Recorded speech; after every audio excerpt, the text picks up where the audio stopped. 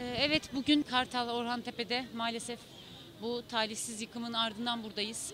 Çok üzücü, çok acı verici bir gerçek olmakla birlikte maalesef bu toplumun ve İstanbul'un bir kentsel sorununun büyük bir sonucu olarak başımıza geldi. Öncelikle burada yaşamını yitiren tüm e, yurttaşlarımızın yakınlarına başsağlığı ve e, yaralı olan arkadaşlarımızın tamamına geçmiş olsun dileklerimizi iletiyoruz.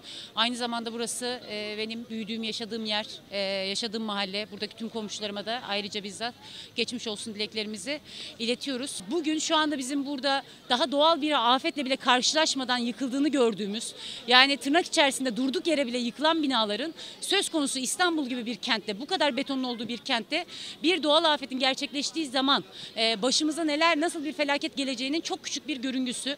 Maalesef bu çok büyük bir sorun. Maalesef bu beton yığınlarının, bu kağıttan beton yığınlarının, ülkeye gelen bütün e, üretimin, ülkeye gelen bütün paranın yatırıldığı bu betonların başımıza açacağı felaketlerin sadece küçük bir görüntüsü ve burada bile e, vatandaşlarımızın can kaybıyla karşılaşıyoruz. İnsanların bir yerden bir yere taşınmasıyla, e, yaşadıkları yerden uzaklaştırılmasıyla, adaletsiz bir şey biçimde kentin dışına itilmesiyle de çözülemeyecek bir sorundur. Bu beton yığınlarının, bu kaçak yapılaşmaların, bu yapılar üzerinde yapılan e, denetimsiz, düzensiz gidişatın ve sadece e, para verilerek alınan tapuların değil, gerçek bir güvenliğin, gerçek bir denetimin, gerçek sağlamlığın, gerçek bir yerleşimin ve tüm insanların yaşayabileceği, betondan ziyade yeşile ulaşabileceği bir İstanbul mümkün. Biz yerel yönetimlerin kesinlikle bu konuda tutum alması gerektiğini ve bu konuda da e, devletin çıkarttığı bunun önünü açan tüm yasaların geri çekilmesi gerektiğini düşünüyoruz. Bunun için de e, biz bu süreçte bunu düzenli olarak gündeme getirmeye ve bu süreç içerisinde